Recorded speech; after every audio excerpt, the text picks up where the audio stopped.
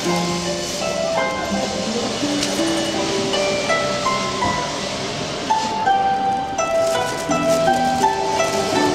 て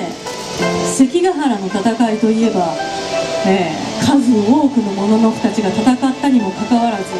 たった数時間で決着がついたと言われております、えー西軍を率いていた石田三成はですねそこで負けてしまいましたがそんな彼を最後の最後まで心から支えた男がございました。その男の名前は大谷義次と言います。関ヶ原の戦いの際には病に侵され不自由な体を持って友のために命を懸けて最後の戦へ挑みました。そんな男の人生を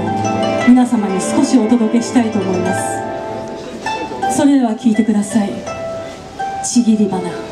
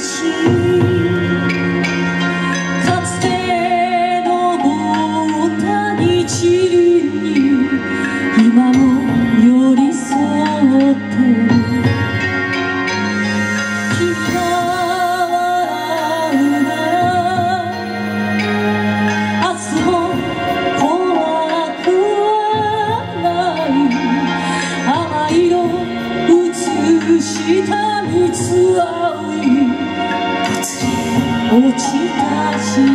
か